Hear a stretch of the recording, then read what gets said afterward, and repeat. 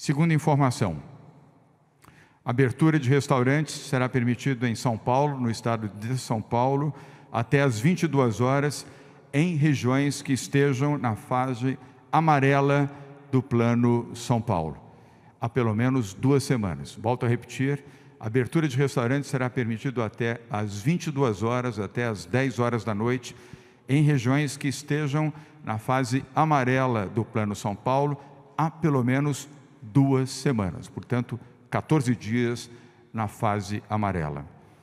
Depois de rigorosa análise, o Centro de Contingência do Covid-19 constatou que não houve impacto negativo nos indicadores epidemiológicos com a retomada gradual do consumo em restaurantes localizados em regiões que estão na fase amarela do Plano São Paulo.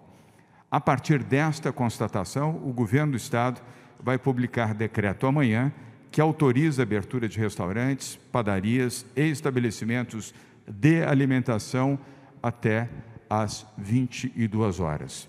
Esse horário de funcionamento só será autorizado para estabelecimentos, é bom frisar, situados em regiões que estejam há pelo menos duas semanas na fase amarela do Plano São Paulo. E todo e qualquer município e região que entrar na fase amarela, após duas semanas, poderá ter o mesmo comportamento em relação aos estabelecimentos de alimentação. Vale ressaltar que continuam sendo seis horas de funcionamento por dia a utilização desses estabelecimentos de alimentação. E fica a critério de cada estabelecimento uh, determinar se fará seis horas corridas, ou três e três horas, ou a forma que julgar conveniente, desde que no limite de seis horas e desde que no limite de 40% de ocupação do seu espaço sentado.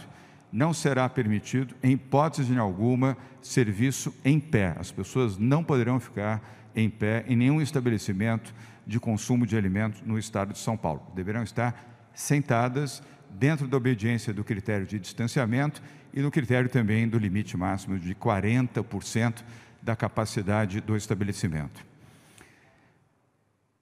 Neste uh, contexto, uh,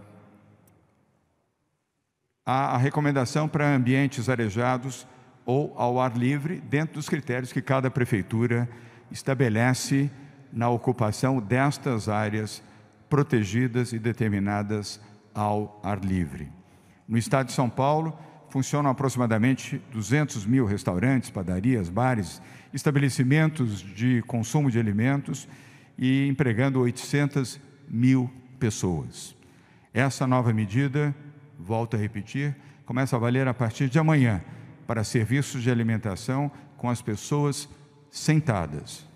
E vale recomendar, ao encerrar esta informação, que em hipótese nenhuma serão servidas pessoas em pé.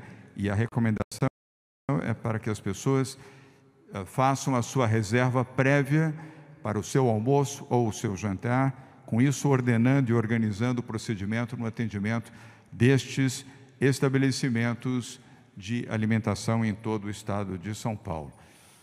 Havendo a colaboração do setor, como tem havido até agora, tudo correrá bem e nós manteremos sob controle e passo a passo, de forma segura e gradual, neste programa de abertura, sem colocar em risco os padrões sanitários e os padrões determinados pelo Centro de Contingência do Covid-19.